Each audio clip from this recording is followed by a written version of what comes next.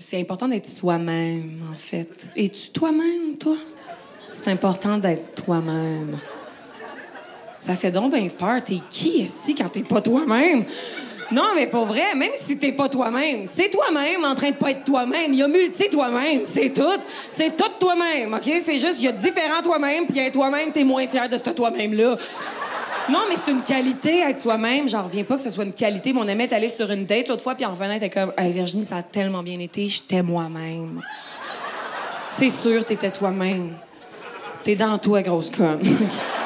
Jamais mon ami va revenir d'une date en faisant Oh mon Dieu, ça a pas bien été, j'étais Pierre Curzi tout le long.